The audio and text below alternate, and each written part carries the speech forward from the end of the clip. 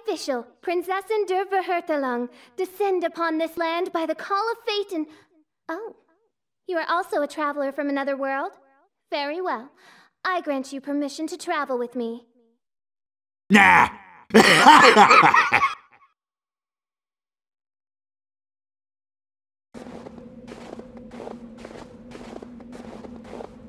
A wonderful sight indeed.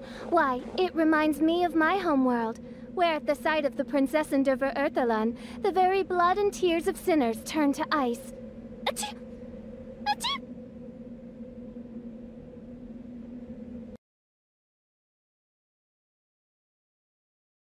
My left eye.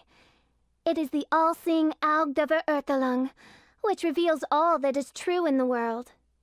As to the question of why I conceal it, well, would you willingly bear the agony of piercing to the heart of all truths? Furthermore, the world would lose much of its appeal if wholly stripped of delusion and falsehood.